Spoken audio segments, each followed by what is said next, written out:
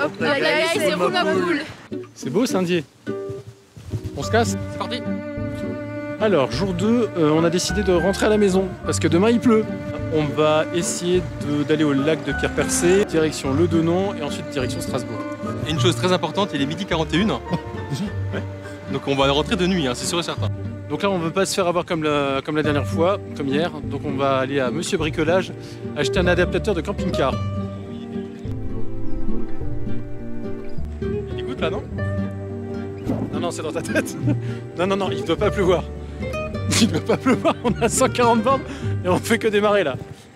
Et on quitte la Déodacie par la vallée de la Meurthe, en longeant la rivière et la très empruntée Nationale 59. Bon là, a priori, euh, le chemin est moins pittoresque euh, qu'à l'aller. C'est du colique. C'est très joli.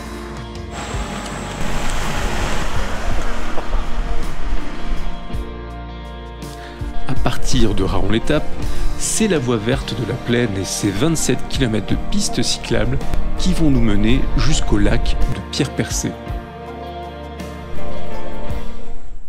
Nous voilà au lac de Pierre-Percé. Plus grosse retenue d'eau de Lorraine, le lac de Pierre-Percé est le troisième plus grand lac de la région. Il sert notamment à compenser le prélèvement d'eau nécessaire à la centrale nucléaire de Cattenom et offre un paysage de grands lacs canadiens en plein cœur des Vosges. Ça monte et ça descend, hein. Sacré pays. Vous voyez là-bas l'antenne? Bah, C'est le col du Donon. Et c'est par là-bas qu'on va passer pour retourner en Alsace. Bah, c'est paisible, c'est naturel, c'est agréable à rouler. Quelle roue va tomber en panne? Celle-là ou la mienne? J'espère que c'est pas la mienne. Elle a assez donné euh, hier. La minute mire écologie. Tu vois, ces cocons là Oui. Bah, ce sera bientôt des, des mâles et des femelles qui vont reproduire chez les fourmis. Comment on voit la différence entre euh, un fourmi mâle et une fourmi femelle? Toujours la taille. Ou alors il y a des ailes. Comment ça? Il y a des ailes sur les fourmis euh, femelles? Ah, sur les deux, les mâles aussi. Alors comment tu les différencies? Bah, au début il y a des ailes, puis après ils les enlèvent quand ils sont fécondés. Les femelles n'ont plus d'ailes quand elles sont fécondées, c'est bien ça? Exactement. La minute mire écologie.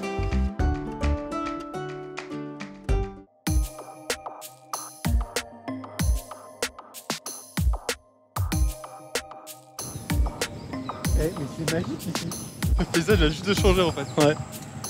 Alors là concrètement, on se dirige vers un village complètement paumé au fond des Vosges en espérant trouver une prise électrique. Donc on va prier nos maîtres à penser, euh, Wartitum et Diabolique en règle générale, pour trouver une prise. Qui fait la croix, tu sais.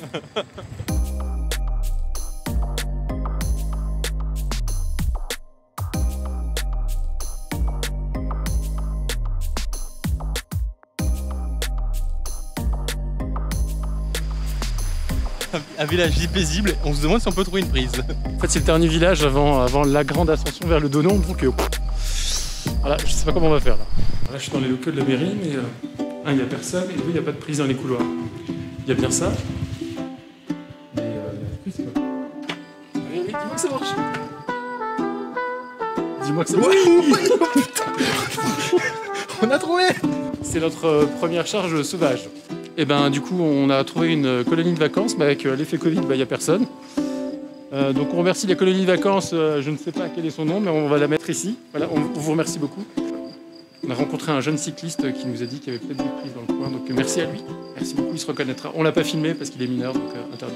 Voilà. Donc là on joue à la Scopa. Ah, Gopa.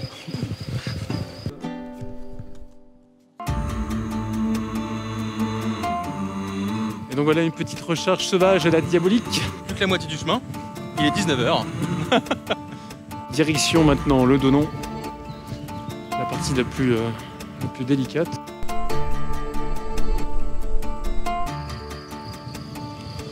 C'est le mémorial des évadés et des passeurs.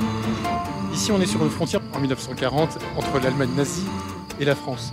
Et c'est ici que grâce aux Alsaciens et à des Lorrains et surtout des montagnards, on a pu faire transférer des, des évadés, euh, des prisonniers de guerre, des choses comme ça. Et ça, c'est beau. Et ça, c'est chez nous 727 mètres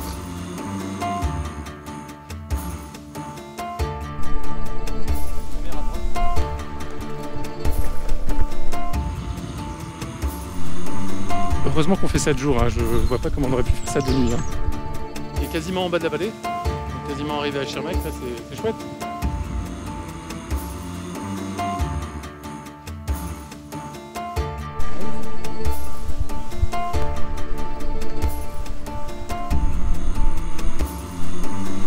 Voilà, il nous reste à peu près euh, une trentaine de kilomètres avant d'arriver à Strasbourg. Il commence à faire nuit, donc je vais arrêter la GoPro.